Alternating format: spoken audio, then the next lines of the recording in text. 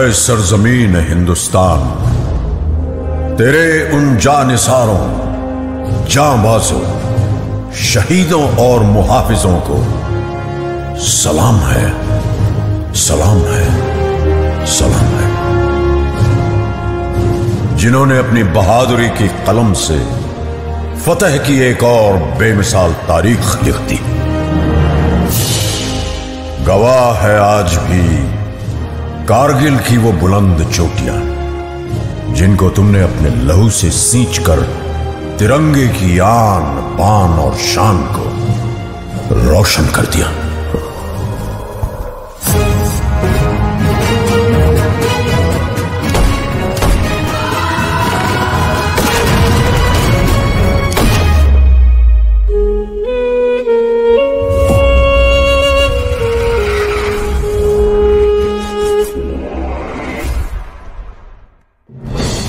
सन उन्नीस सौ निन्यानवे, पड़ोसी मुल्क पाकिस्तान ने बगैर किसी आभास के अपने सैनिकों को एलओसी पार कर भारत की सीमा के अंदर भेज दिया।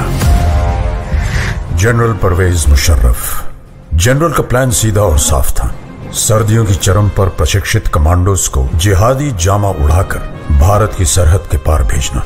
वहाँ पोस्ट और बंकर पर कब्जा करके कश्मीर और लद्दाख को जोड़ती कड़ी को तोड़ना। द्रास सेक्टर की मुश्को घाटी, मारपुला ridge line.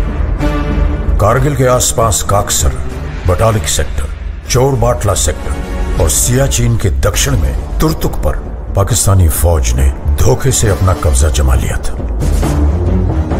Lieutenant Saurabh Kalia की अगुवाई में निकली पेट्रोलिंग पार्टी बड़े रहस्यमय ढंग से गायब हो गई थी। कुछ दिनों के बाद उनका क्षत विक्षत शव पाकिस्तानी सेना ने हमें सौंपा। जिस निर्दयता से उन्हें मारा गया था प्रशिक्षित पाकिस्तानी फौजियों की ही कुचेष्टा थी।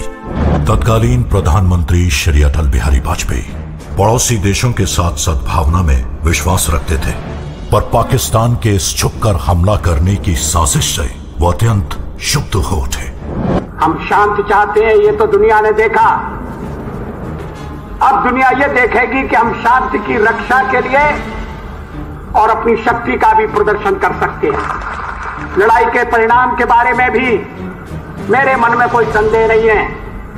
हमारी विजय निश्चित है और हम विजयी होकर दिखाएँगे। उन्होंने देश की तीनों सेनाओं को बगैर एक पल गवाए, दुश्मन की गोली का जवाब गोलों से देने का आदेश सुनाया।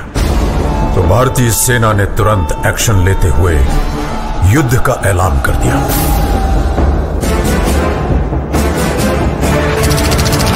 Chief of army staff general V P Malik के नेतृत्व में लड़ी गई कारगिल की जंग अपने आप में सैनिक रणनीति और साहस का एक उदाहरण है। ऑपरेशन का नाम था ऑपरेशन विजय थल सेना दुश्मन को खदेड़ रही थी। अब आसमान से आग बरसाने की पारी थी।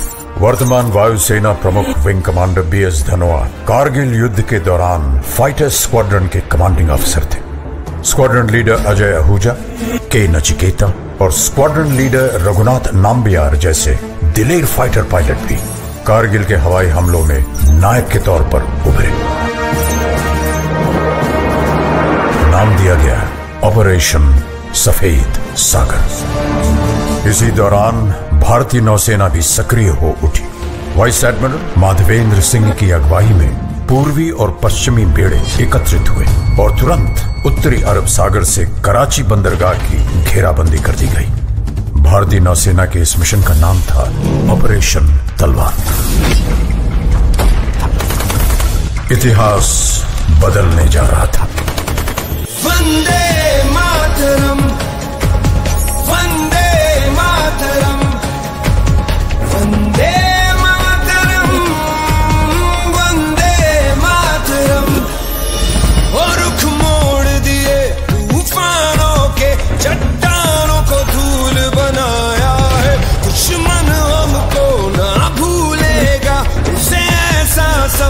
sick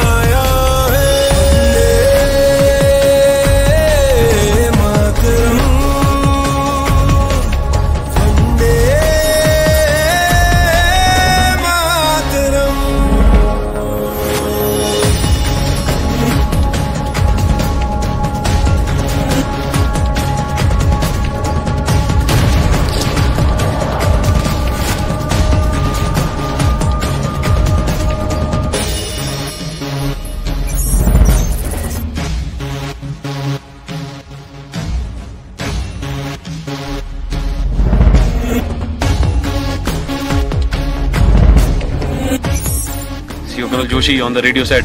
And after the another bunker was captured, the my company's success की was ये दिल मांगे मोर चले तूफ़ान उठे बढ़ता ही रहे तू रुके नहीं जब तक है फलक जब तक है जमी मेरा दिल ये कहे कभी झुके नहीं बस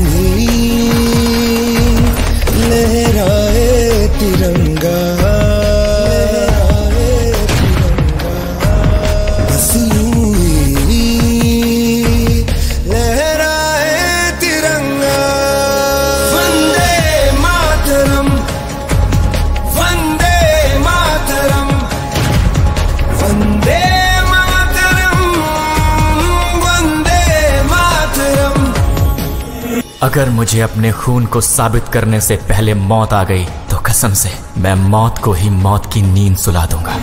कारगिल का ये युद्ध भले ही उच्च अधिकारियों की विस्तृत प्लानिंग और रणनीति के अनुसार लड़ा गया हो, लेकिन इसे जीतने वाले औसत 20 से 25 साल की उम्र के वो नौजवान सैनिक ही थे जो शेरों की तरह दुश्मन पे टूट पड़े।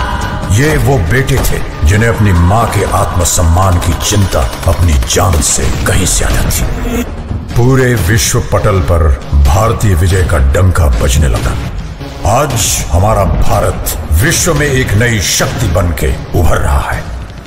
कारगिल की ये विजय उस नए भारत की नींव का पत्थर है, क्योंकि इस युद्ध में बही खून की हर एक बूंद ने हमारे आज को सींचा है। वही खून प्रेरणा देता है। बढ़ो आगे। मत रुको। पूरी शक्ति सहित निर्भयता से हर असंभव पहाड़ इसी तरह जीत लो। सीने में जो भारत भूमि के प्रति प्रेम है, वो पूर्ण प्रज्वलित हो। जब संपूर्ण विश्व के शीर्ष शिखर पर भारत का ध्वज फहराएगा, तब मेरे देशवासियों हर दिन विजय दिवस कहलाएगा। माँ भारती के लिए बलिदान देने वालों की याद में निर्मित राष्ट्रीय समर स्मारक उन्हें समर्पित है। देश के लिए जीवन लगा देने वाले, ज़िंदगी खपा देने वाले, जिए भी तो देश के लिए, मरे तो भी देश के लिए, जिए तो भी तिरंगे के लिए मरे तो भी तिरंगा ओढ़ करके ऐसे हर किसी को मैं आज नमन करता हूँ, प्रणाम करता हूँ, आपसे आवाहन करता हूँ। आइए मेरे साथ बोलिए, भारत माता की, भारत माता की, भारत माता की, वंदे वंदे वंदे।